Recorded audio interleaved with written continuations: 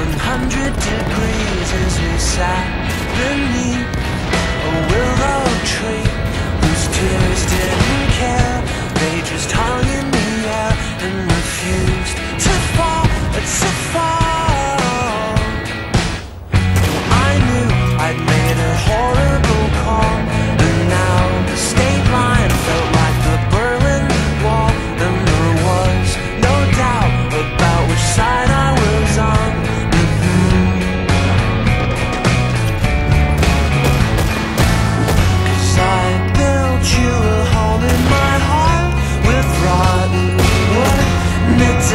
from the stars. Cause you can't find